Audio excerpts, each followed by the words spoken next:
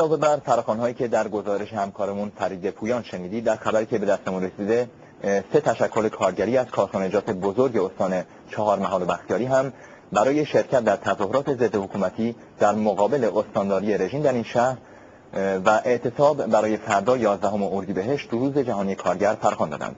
این کارخانه ها شامل کارخانه پاک، کارخانه شینبار و کارخانه برفاب هستند.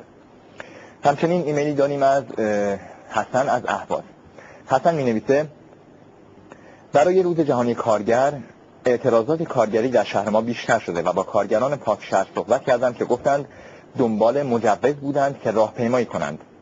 اما دولت از ترسش مجوز نداده. اما کارگران گفتند ما تظاهراتمون رو برپا می‌کنیم چه با مجوز و چه بی مجوز.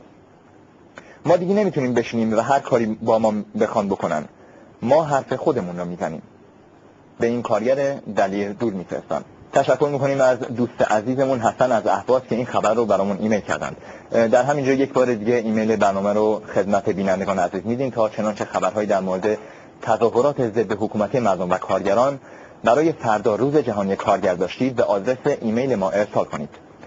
آدرس ما هست به سوی پیروزی at irantv.com داستانه روز جهانی کارگر قیام آفرینان در زمینهای مختلف فعالیت شدن از جمله انتشار و توزیع پوسترهایی برای دعوت مردم به تظاهرات روز جهانی کارگر و همینطور برخی از شعار نویسی ها در مناطق مختلف که تصاویری از اونها به دست ما رسیده که با هم می‌بینیم.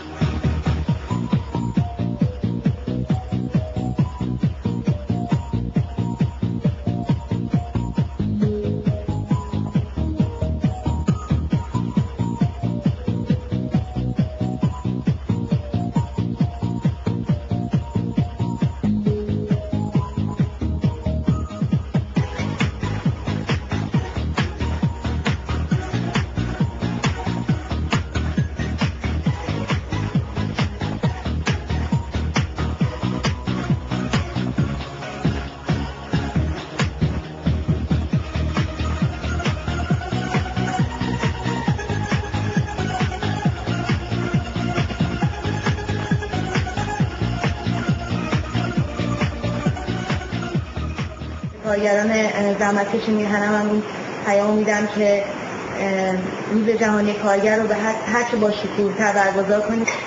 و به جوانان عزیز میهنم هم میگم که تو این روز پشتیبان کارگران باشن و در این روز هر چه بهتر و هر چه با شکورتر این روز رو برگزار کنید. ما همه پیروزیم.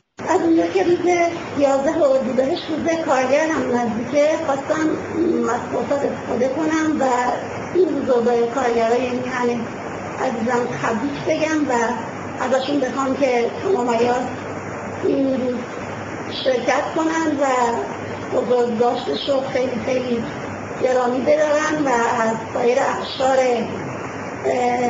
مردم هم می‌خوام که حتما در مراسم یازده و دیده شرکت کنن و شده همه موفق و پیروز خواهیم شد و پیروزی با ما ما همه با هم هستیم. ملت بیشگست